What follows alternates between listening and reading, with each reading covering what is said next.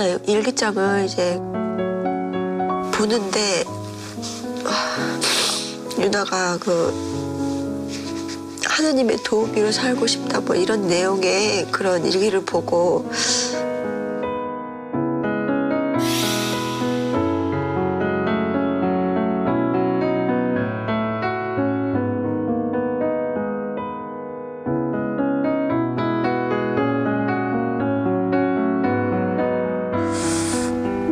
그래 누군가에게 아, 새 희망을 줄 수 있는 음,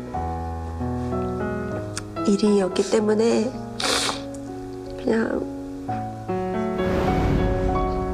아, 솔직히 속상도 했지만 그렇게 마음을 먹었습니다. 와 진짜 결정하실 때 정말 힘들었을 것 같아. 와, 이 상상도 가지 않네. 와, 아,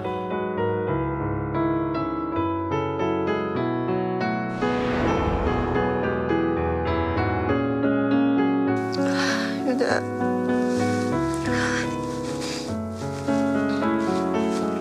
엄마 아빠가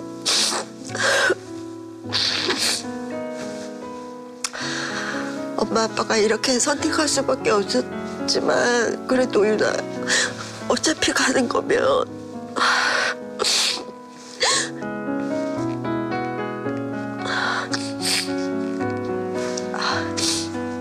이게 이게 최선의 선택인 것 같다. 아휴 진짜 아유, 다 키웠는데. 음, 아, 아, 수술실에서 나온 유나를 딱 보니까 다 빼갔잖아요. 다 뺐는데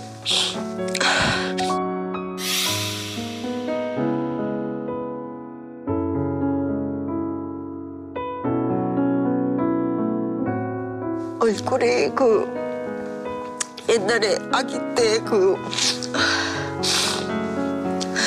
아기 때 그 모습처럼 딱 보이는 게 순간 음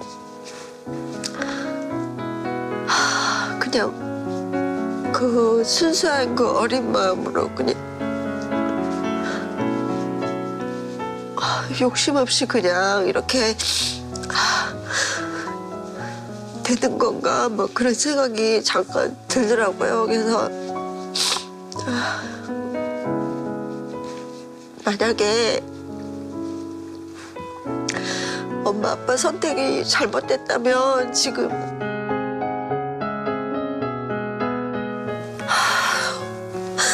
하, 꿈에서라도 얘기해달라고.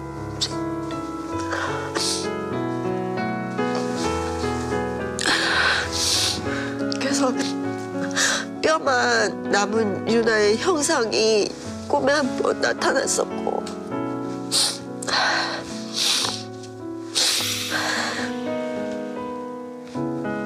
그래도